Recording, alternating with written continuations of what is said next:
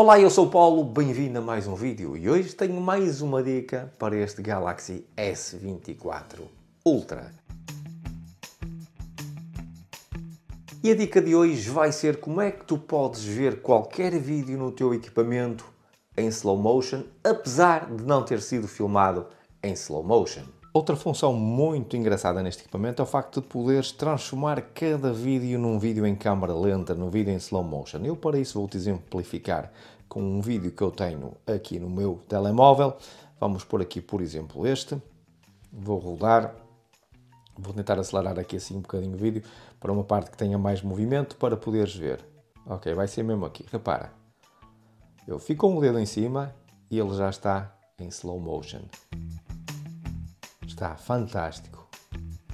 Isto é uma particularidade que tu podes fazer no teu equipamento com qualquer vídeo que tenhas no equipamento e mesmo um vídeo que tu tenhas feito download da internet, consegues fazer isto, ver a imagem em slow motion. Está realmente fantástico, como podes confirmar. Fantástico. Caso tenhas mais alguma questão acerca desta dica, escreve nos comentários. Muito obrigado por teres assistido. Já sabes, antes de ir embora, não te esqueças de deixar um like para fortalecer o vídeo e também o canal. Subscreve também, que eu vejo-te no próximo. Fica bem.